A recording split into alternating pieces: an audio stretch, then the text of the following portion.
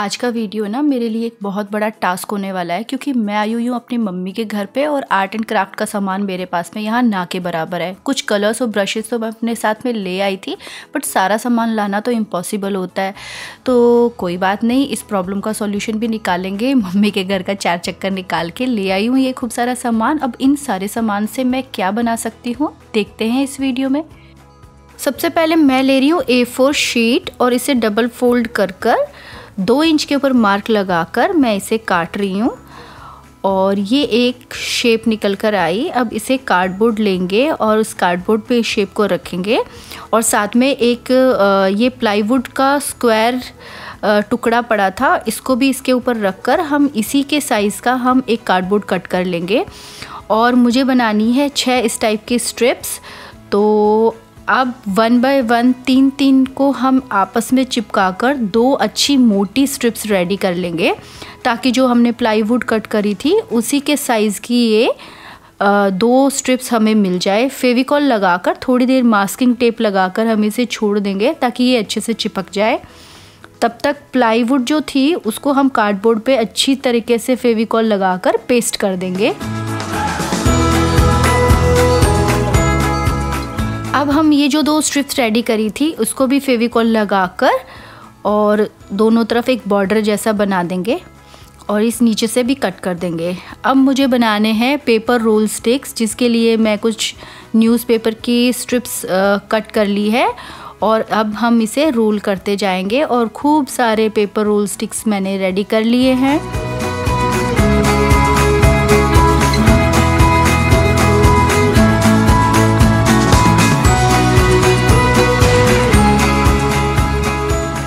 अब मैं क्या कर रही हूँ? तीन पेपर रोल स्टिक ले रही हूँ और एक पैटर्न बना रही हूँ। जैसे हम चोटी बनाते हैं, बिल्कुल वैसे ही हमें इसको बनाते जाना है और जैसे ही ये एक जो स्ट्रिप है, वो ख़त्म हो जाए तो दूसरी स्ट्रिप को उसके अंदर इस तरीके से डालेंगे और इसकी लेंथ बढ़ाते जाएँगे और कुछ थोड़ी सी लंबी लंबी मैंने इनको बनाया है ताकि एक्स्ट्रा होगी तो वो कट हो जाएगी।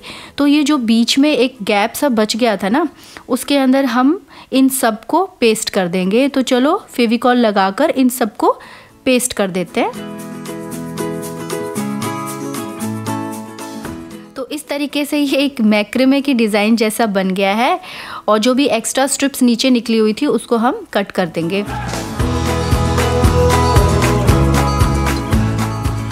अब जो ये कार्डबोर्ड की रफ़ एजेस है ना, इनको कवर करने के लिए कुछ पेपर के स्ट्रिप्स मैंने कट कर ली हैं। और थोड़ा फेविकॉल में थोड़ा सा पानी मिक्स करके इस तरीके का पेस्ट बना लिया है और पेपर पे अच्छे से लगाकर हम इनको जितने भी कार्डबोर्ड की एजेस हैं, उनको कवर कर देंगे। तो चलो इन सबको रेडी कर लेते हैं।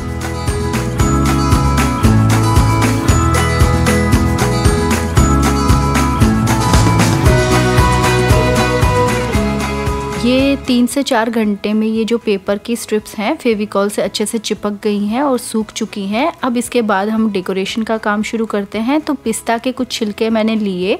उस पर मैं इस टाइप से पिस्ता के छिलकों से कुछ डिज़ाइंस बना रही हूँ। तो फेविकॉल का यूज़ कर रही हूँ इनको चिपकाने के लिए। तो आप चाहे वैसी डिज़ाइंस बना सकते हो। तो मैं सिंपल डिज़ाइन रख रही हूँ बिल्कुल। और ये जो आपको ब्लू कलर में बीच में जो लग रहा है ना, ये मिरर है, इसको मैंने उल्टा करके रख दिया था और इसका निशान लगाकर एक बीच में ना प्लाईवुड पे बीच में स्क्वायर से डिज़ाइन को छोड़ दिया है ताकि जो मिरर है उसको मैं बाद में पेस्ट करूँगी। तो अब मैं ले रही हूँ वाइट फेविक्रिल का एक्रेलिक कलर और इसके ऊपर हम कलर करेंगे। इस पर मुझे तीन कोटिंग करनी पड़ी, तब जाकर ये न्यूज़पेपर के जितने भी निशान हैं वो कवर हुए। पीछे ना एक डॉग के भौंकने की वॉइस आ रही होगी। प्लीज़ उसे इग्नोर करना यार। पता है आपको, जब से मैं यहाँ आई हूँ ना, मैंने उसकी एक बार भी आवाज़ नहीं सुनी। और जब से मैं इस वीडियो बनाने बैठी हूँ, वो कंटिन्यूसली भौंके जा रहा है और मुझे कंटिन्यूसली इरिटेट किए जा रहा है। तो आप लोगों की लाइफ में भी कुछ ऐसे लोग हैं जो आप लोगों को ऐसे कंटिन्यूसली इरिटेट करते हैं? तो आप लोग उससे कैसे डील करते हो? मैं तो सिर्फ़ इग्नोर ही कर सकती हूँ और वही करे जा रही हूँ। तो चलो, फिर से टॉपिक पे आते हैं। बॉर्डर पे मैं कुछ कट मिरर्स लगा रही हूँ तो इस तरीके से मैंने मिरर्स लगा दिए हैं। और अब मैं ले रही हूँ कलरफुल वूल और इन सबको मैं इन मिरर्स के चारों तरफ़ इस तरीके से एक बॉर्डर बना रही हूँ। क्योंकि मैंने इसको वाइट कलर में रखा है तो इसको थोड़ा सा कलरफुल बनाने के लिए मैं आ, कुछ ब्राइट कलर्स का यूज़ कर रही हूँ। तो जो भी मैंने एक्रेलिक कलर्स लिए हैं सेम उसी कलर की मैंने वूल ली है। और इसे थोड़ा सा कलरफुल बना दिया है।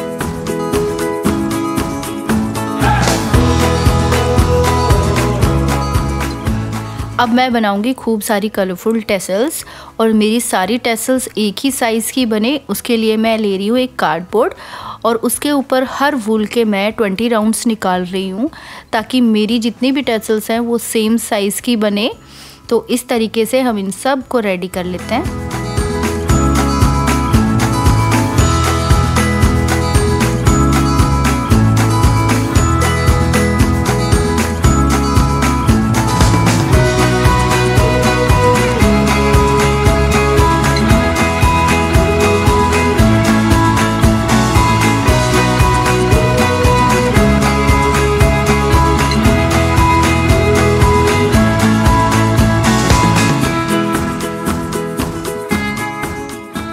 सारी टेसल्स रेडी हो चुकी हैं। तो अब हमें इसे, इस कार्डबोर्ड पे पेस्ट करना है। तो उल्टी साइड में हम इसे रख कर एक बार मास्किंग टेप से हम इसे लगाते जाएँगे। जिस हिसाब से हमें कलर कॉम्बिनेशन इनके रखने हैं, उस अकॉर्डिंग हम एक बार मास्किंग टेप से इनके लगा देंगे। एक बार हम इनको मास्किंग टेप से लगा देंगे। फिर हम फेविकॉल लगाकर और इस टाइप की एक डोरी से हम इसको पेस्ट कर देंगे। तो ये मैंने एक डोरी नीचे लगाई है और एक डोरी इस साइड में लगाई है। तो दोनों के बीच में ये टेसल्स आ जाएँगे तो ये बड़े अच्छे लगेंगे। तो और कुछ टेसल्स को हम ऊपर के साइड में लगा देंगे।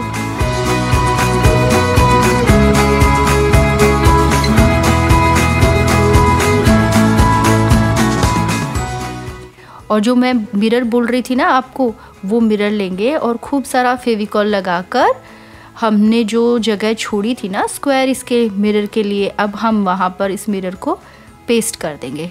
और इसके बीच में भी हम थोड़ा सा डेकोरेट कर देंगे।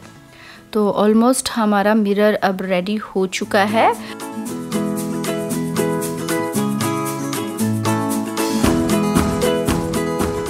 ये पीस थोड़ा सा हैवी है, इसके लिए हम इस पे जो हुक लगाएँगे वो मज़बूत होना चाहिए। इसीलिए मैं एल्यूमिनियम वायर और एमसिल का यूज़ कर रही हूँ।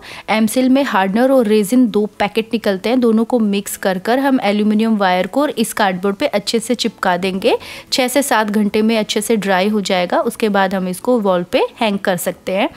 तो इस तरीके से मेरा आज का टास्क हुआ कंप्लीट कैसा लगा आपको आज का वीडियो आई होप आपको पसंद आया होगा। अगर पसंद आए तो वीडियो को लाइक करना शेयर करना कमेंट करना और नोटिफिकेशन बेल आइकन ज़रूर प्रेस कर देना।